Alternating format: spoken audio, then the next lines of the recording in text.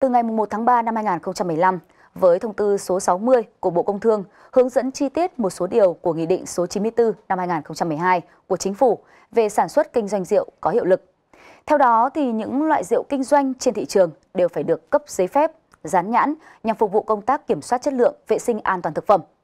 Đối với loại rượu thủ công phục vụ kinh doanh, việc đăng ký giấy phép là yêu cầu bắt buộc. Tuy nhiên đến nay thì có rất ít cơ sở sản xuất rượu thủ công tự giác yêu cầu cấp giấy phép hay là sán nhãn và khiến cho quy định của nhà nước về lĩnh vực này dường như đã bay hơi.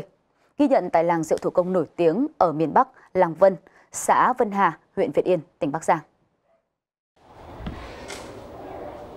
Hầm rượu của nhà ông Nguyễn Đức Hạnh Dù chỉ là cơ sở sản xuất rượu thủ công, nhưng sản lượng bán ra là hàng trăm lít một ngày.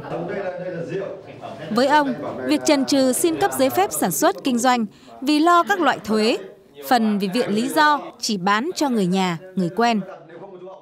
Đăng ký cấp phép và mẫu mã, tức là tất cả từ be cho đến uh, uh, hộp đóng rượu. Cho nên chúng tôi cũng đã đang tiến hành tức là cũng được 90% rồi.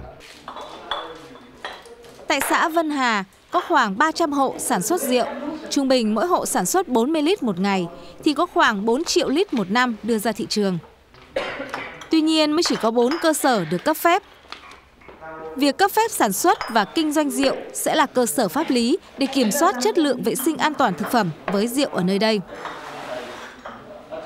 Mình đăng ký như thế nào từ cái độ độ rượu, thế rồi từ những cái Ờ, nói tóm lại là từ dấu chấm dấu phẩy là mình phải theo quy định của nhà nước. Và chất lượng là phải theo như là trình bày. Người làm thì phải chịu trách nhiệm những cái vấn đề gì về vệ sinh an toàn thực phẩm là phải có hết. Các lớp tập huấn, thế rồi kho nhà xưởng là phải sạch sẽ theo quy định. Thế chúng tôi thực hiện đăng ký nhãn hiệu rồi thì dán nhãn sản phẩm thì ờ, hàng hóa của chúng tôi là bán nó cũng ổn định. Thế và đi những cái vùng miền thì người ta rất là tin tưởng cho nên là cái sự phát triển thì nó ngày một lớn lên. Với những cơ sở chưa được cấp phép, cơ quan chức năng hầu như không thể kiểm tra chất lượng rượu theo định kỳ. Theo quy định tại Nghị định 94-2012 của Chính phủ và Thông tư 60-2014 của Bộ Công Thương đã sản xuất rượu để bán là phải đăng ký giấy phép. Với làng rượu thủ công lớn nhất miền Bắc này cũng như nhiều địa phương khác, dường như các quy định đã bay hơi.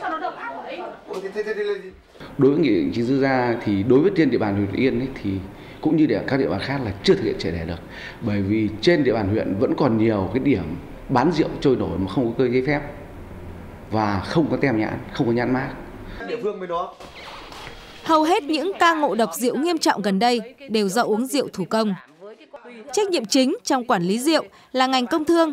Vậy mà suốt thời gian qua, ngành này vẫn có vẻ im hơi lặng tiếng.